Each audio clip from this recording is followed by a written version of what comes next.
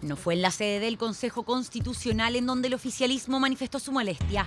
Lo hizo enfrente, a solo metros de este lugar, en la mismísima Corte Suprema. 37 páginas tiene el documento con el que presentaron sus reparos, exigiendo por primera vez que el máximo tribunal interprete el reglamento. Para el oficialismo no hay dudas que existen irregularidades luego de que la oposición presentara cuatro nuevos capítulos al anteproyecto creado por la comisión experta.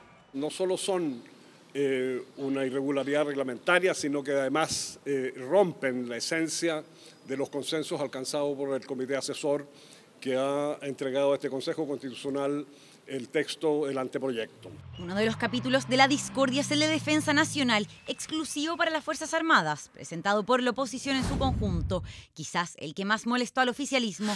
Si le vamos, sumó uno de Seguridad Pública, mientras CRN y Evópoli presentaron el que establece la Defensoría de las Víctimas. Todos capítulos fundamentales para el sector porque abordan una de sus prioridades. Este requerimiento ante la Corte Suprema demuestra la escasa, por no decir nula, sintonía del oficialismo con uno de los dolores dominantes de la ciudadanía hoy, que es la seguridad. Aquí hay una falacia comunicacional de la derecha.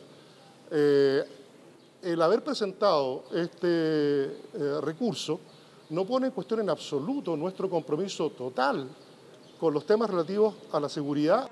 La oposición en la mira del oficialismo y más republicanos por otra discusión cómo y en dónde se debe abordar el aborto ha sido tema y fue el presidente del partido, Arturo Esquella, quien aseguró que la discusión debe estar en la ley y no en el debate constitucional. Agregó en entrevista con Canal 13 generando polémica que en caso de tener mayoría en el Congreso buscaría derogar el aborto en tres causales.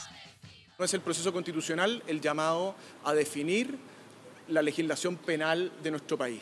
Creo que lo que estamos haciendo va en la línea correcta en el sentido de proteger la vida de todas las personas, incluida la del que está por nacer. Es una gran preocupación que eso habilite en otro momento la posibilidad de retroceder en estas tres causales. Estamos por defender la vida del que está por nacer y la maternidad, pero hay caminos y mecanismos para dejar claramente establecido que la ley de aborto en tres causales sigue vigente. Bueno, obviamente es preocupante y esto es una posición de gobierno. Vamos a defender siempre este derecho ganado de las mujeres a elegir. Debates que aún deben desarrollarse en el Pleno del Consejo, mientras este martes el oficialismo espera respuestas, jornada en la que se conocerá si la Corte Suprema declara admisible o no la reclamación que tensiona al Consejo.